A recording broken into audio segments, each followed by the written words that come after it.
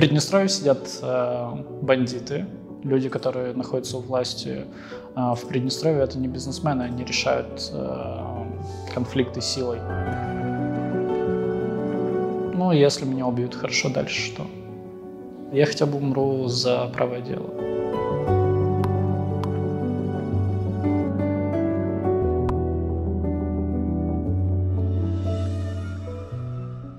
Я родился в городе Рыбница, а потом три года назад перебрался в Тирасполь и уже вот сейчас сюда.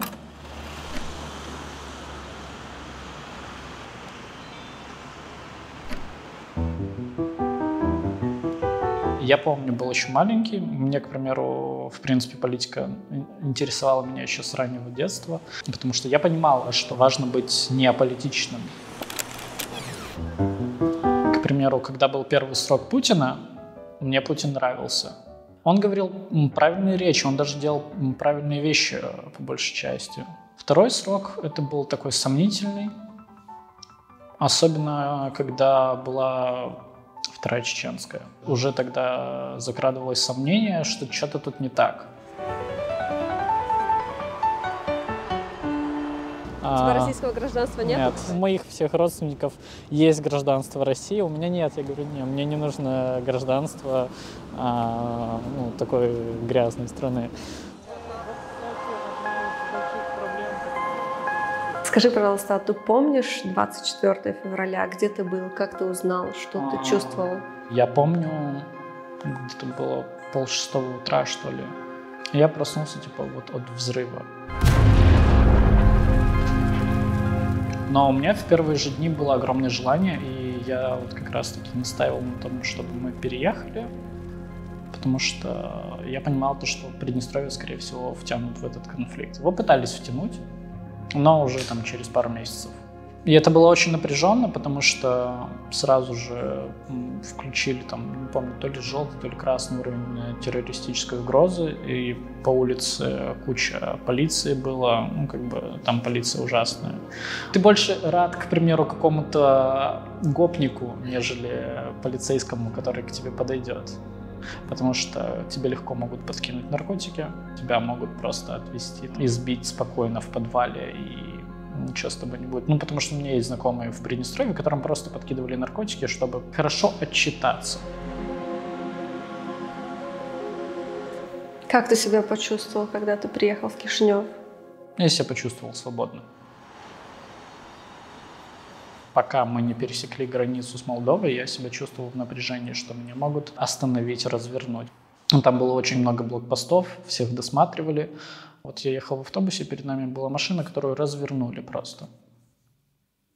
Я боялся то, что меня тоже так развернут. Но вот как только мы пересекли э, границу с Молдовой, я почувствовал, что я в безопасности. Я пытался в Приднестровье заниматься активизмом, но это было так, 50-50, э, потому что там, в принципе, структура активизма, она не развита, к сожалению. Политическая активность там вообще мертва. Вы угрожаете всем, всему миру, то что вы. По переезду сюда я нашел вот как раз-таки группу Stop Russian Aggression, потому что я знал, что 9 мая, скорее всего, будет какое-то мероприятие, а, какой-то митинг. Я сюда переехал фактически без ничего. Вот я, я приехал, э, я взял с собой ноутбук, взял с собой какие-то там базовые вещи, то есть, а тогда еще было очень прохладно, а я с собой просто взял э, кожаную куртку. Я даже не знал, куда мне идти. То есть э, я высадился вообще не в том месте даже, высадился на ботанике возле Макдональдса, э, потом по Google картам уже прошел в центр, и пока шел в центр, я искал, где мне остаться. Что ты увидел, когда ты сюда пришел? Я приехал на такси, я увидел ребят э, с флагами, я увидел ребят, которые хотят выступать за свободу Украины, которые хотят выступать за свободу Молдовы, которые не хотят, чтобы война перетекла сюда, и которые ну, желают этой стране лучшего. Я почувствовал, что я не один, и мне от этого стало хорошо.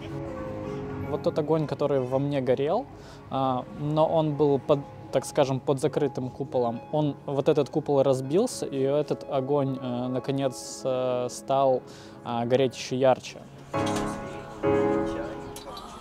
Ты уже здесь полгода. Сможешь сравнить, например, качество жизни в Кишиневе и в Тирасполе?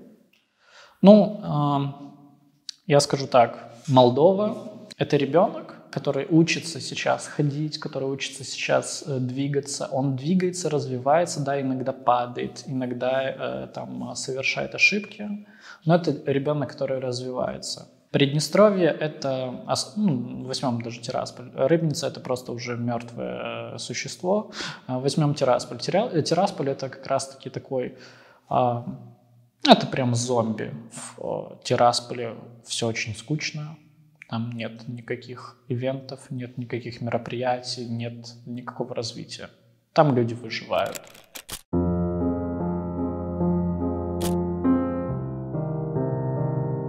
Приднестровье сидят э, бандиты. Их даже нельзя назвать бизнесменами, потому что бизнесмены решают э, конфликты на юридическом уровне. Люди, которые находятся у власти э, в Приднестровье, это не бизнесмены, они решают э, конфликты силой. Они решают их силой, они решают их э, заведением уголовного дела э, фиктивного, они решают э, свои проблемы убийством людей. Россия отличный вклад вложила в то, чтобы Приднестровье было таким несчастным и таким ужасным местом, которым она является. Потому что как бы это уже не первый раз, когда Россия создает фиктивные республики, где она, так скажем, добавляет э, щупальца своей власти, щупальца своего влияния. И как ты видишь будущее отношения Тирасполя с Кишиневым?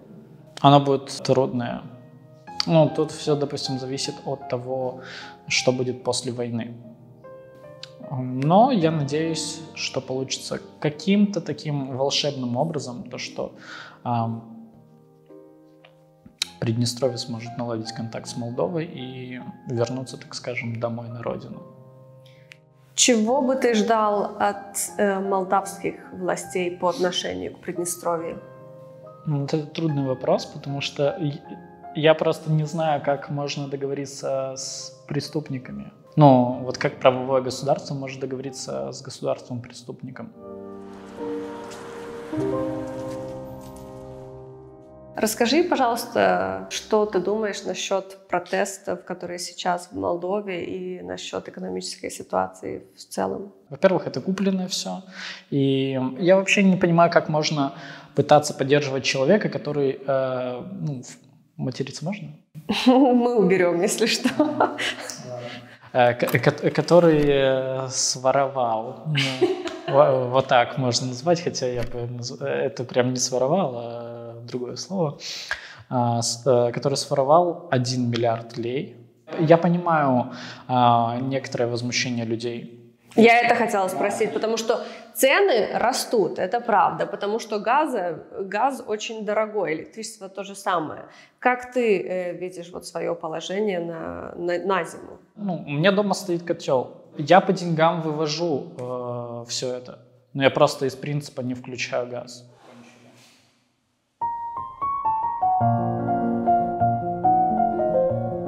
Многие из них говорят, что моя Санду слишком гордая и что она должна поехать, встать на колени Путину и просить э, дешевый газ. Хорошо, окей, она, она это сделает, к примеру. Дальше что? Дальше что? Будет дешевый газ. Будет, будет дешевый газ, и потом э, к нам придут с войной. Либо нас будут шантажировать каким-то образом. Я лучше буду готовить еду на костре, чем э, продам э, э, свои принципы и свою задницу. Потому что, э, к примеру, мне хочется жить в этой стране, мне хочется, чтобы в этой стране создавался бизнес, мне хочется, чтобы в эту страну вливались активы, чтобы у людей, которые тут находятся, было будущее. Они э, сейчас пекутся якобы о будущем а, Молдовы о будущем своих детей, но какое может быть будущее под влиянием России? Никакого. Ты себя здесь, в Кишиневе, видишь на долгий срок? Mm, да. Мне Кишинев э, с каждым месяцем нравится все больше и больше. Я вижу тут больше возможностей. А, как бы кто ни говорил, то, что в Кишиневе, а, вот мы уезжаем из Молдовы, мы уезжаем из Кишинева, потому что тут нет возможности, тут нет работы и так далее, все граничит э, только с вашим узким мировоззрением. Женя, скажи, пожалуйста, ты активист, ты высказываешься, тебе не страшно?